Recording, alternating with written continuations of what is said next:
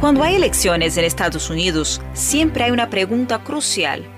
¿Qué son los swing states, los estados péndulos, y por qué son tan importantes? Para entender primero cómo funcionan los estados péndulos, conversé con Christina Morris. Ella es concejal de una pequeña ciudad llamada Rocky River, en Ohio, pero solía vivir en Texas. Cuando nos mudamos a Ohio hace 10 años, más de una persona nos dijo que afortunados, ahora el voto de ustedes cuenta. Texas es un estado republicano, por lo que todos los votos del colegio electoral suelen ir para el candidato presidencial republicano. No tenía sentido votar. Ohio siempre ha sido un estado péndulo. Votar aquí es diferente.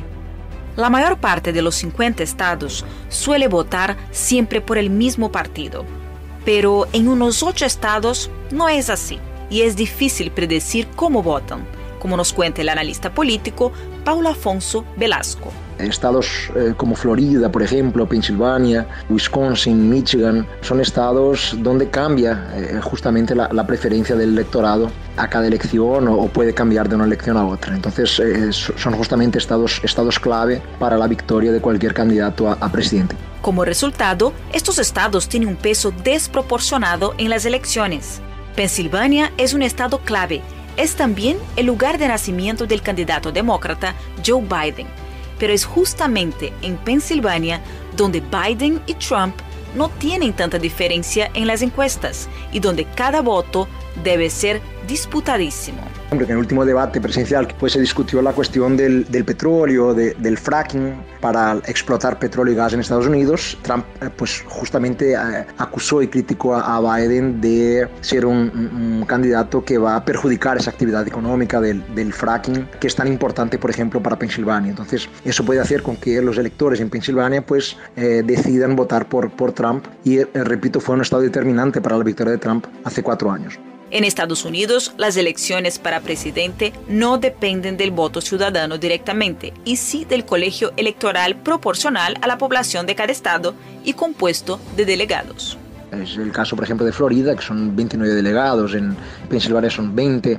Entonces, eh, ganar en, esos estados es, es, fundamental, porque los candidatos, claro, en las elecciones norteamericanas tienen que ir sumando delegados eh, y al ganar en el estado se llevan todos los delegados. En las últimas elecciones, eh, Donald Trump consiguió ganar a la, a la candidata demócrata Hillary Clinton eh, en contra de lo que decían las encuestas en los días previos a las elecciones, porque se llevó justamente swing states donde no se esperaba que ganara, por ejemplo Pensilvania. Pero ¿hasta qué punto se puede creer en las encuestas aquí en Estados Unidos? Ronald Abrams, un veterinario jubilado de Ohio, no cree mucho en esas encuestas. Las encuestas a veces pueden ser muy engañosas. El presidente Trump no tenía esperanzas de ganar en ningún estado y ahora es el presidente. Lo que pasa es que Trump logró convencer a la población obrera de Pensilvania, Wisconsin, Michigan y Ohio a que votara por él con su discurso de Hagamos América un país grande de nuevo.